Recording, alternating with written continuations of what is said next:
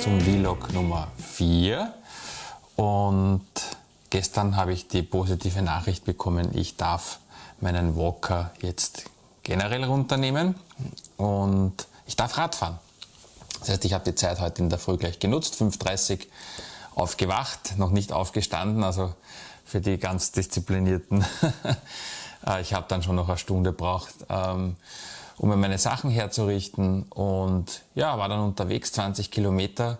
Ich bin dann nicht, ähm, nicht nur eine flache Strecke gefahren, sondern ich habe mir gleich Challenge gegeben und habe gedacht, rauf, rauf äh, auf den nächstgelegenen höchsten Punkt bei mir in der Umgebung, hat man wunderschöne Übersicht übers Wiener Becken.